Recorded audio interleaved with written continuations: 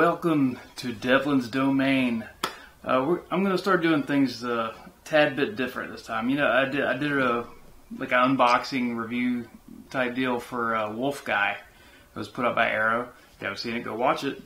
And uh, and that that was like a blind buy for me. Uh, I haven't really like like I've been unboxing things and like talking about what I knew about, but you know, like that movie, I didn't know much about it. I kind of felt didn't feel right to just like put up a video where I don't know what the hell I'm talking about. So, and we, I mean, I kind of fixed it at the end. You know, I shot an ending and had to go redo it because I watched the movie and it was so badass. I had to like tell everybody how badass it was.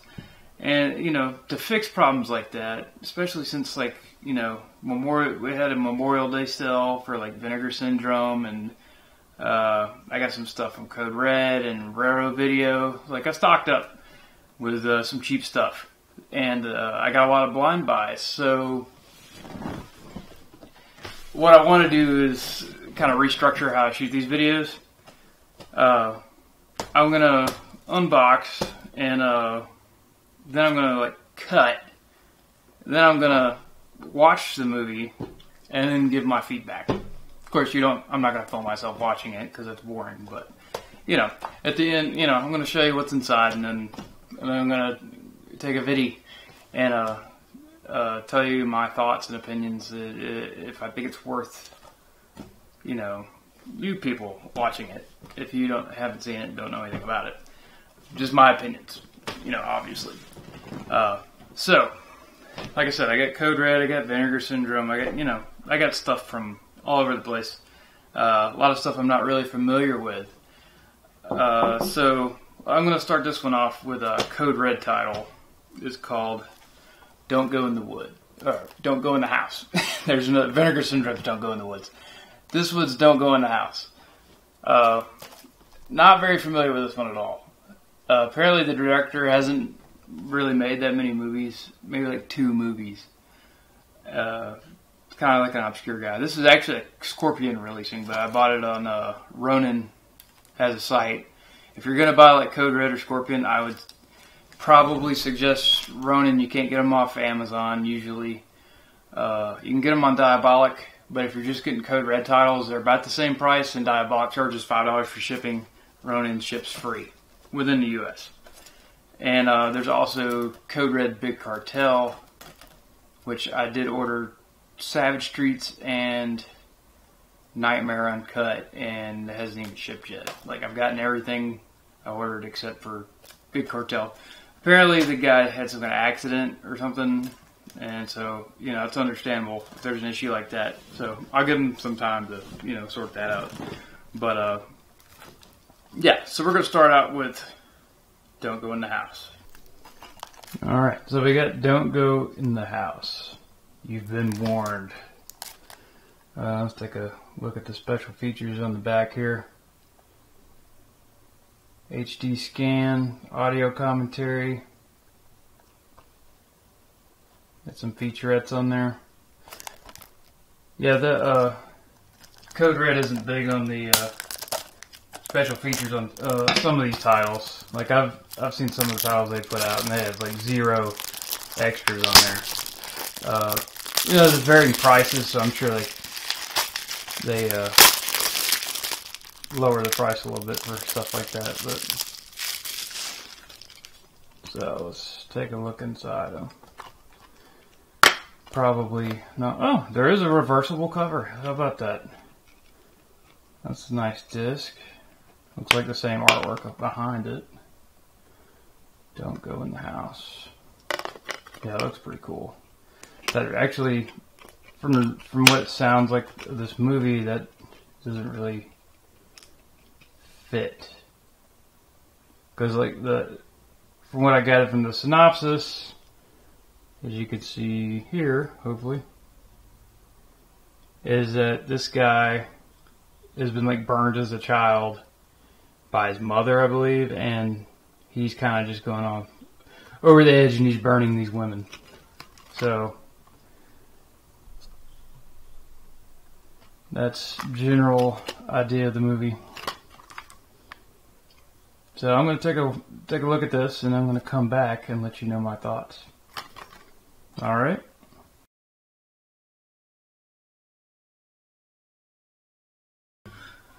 All right, so I've just finished uh, "Don't Go in the House," and um, I'm quite impressed. It was a really good movie. Uh, I wasn't sure well what to expect. I've heard good things about it. Uh, it but the weird thing is, it's it was advertised. Uh, I think I saw on Diabolik DVD. It was advertised as a slasher film. This is not a slasher film. This is like a serial killer film, or, or or like a like a character study of of this maniac, pretty much. Uh, he's a guy who, as a child, uh, his mother is like one of those psycho-religious, overly oppressive type people, taking her shit out on her kid, and you know burns him as a punishment. You know, she's you know, the actress, the way she acted it was just kind of like very like militant, like, get in here, you're evil, you must be punished, you know and uh, you know, she burns his arms over a hot stove, and you know, leaves some scars and stuff like that. But uh, like uh, pretty much like right at the beginning of the movie, you know, he comes home from work and, and finds her dead in the house. He's been living with her.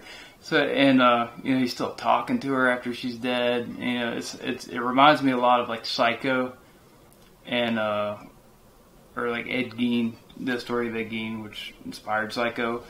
Uh, yeah, was, but the, there's not that many like on-screen kills in the movie. It's not gory. Uh, you know, it says it's unrated, and this is the uncut extended version. Uh, but yeah, there's nothing really like I, I wouldn't have been able to tell you except for like there's like one kill where I was think maybe they would have cut that out, but oh, that's like the best part of the, one of the best scenes in the movie is like that one kill. Oh, yeah, it's it's weird. It, yeah, it's it's more about you know the guy and the killer and his just the way his mind is. Like he's got like a a voice, like kind of telling him, manipulating his actions, and it's a woman's voice. Uh, you're not. It doesn't make it quite clear who this woman is, but there's a scene at the end of the movie that kind of makes some sense of that.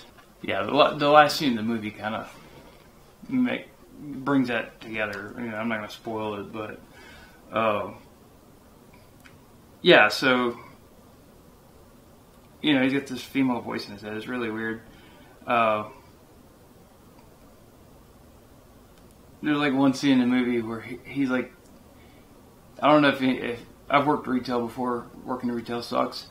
Uh, and those of you who work have worked retail will know that when you're closed, the worst thing you can do is fucking knock on the door and like, hey, could, can I just get one thing? Fuck off! Like that's the, like the most douchebaggiest thing you could do. I hate that. Like, who does that? And if you're one of those people that do that, fuck you. Don't do that shit. It's like, what kind of dick are you? We're closed. Go away. Anyways, for some reason, this lady in here opens the doors. We're closed. There's a time frame in which you have to get in and out, and once you've missed that, then you're that's it. Just go away.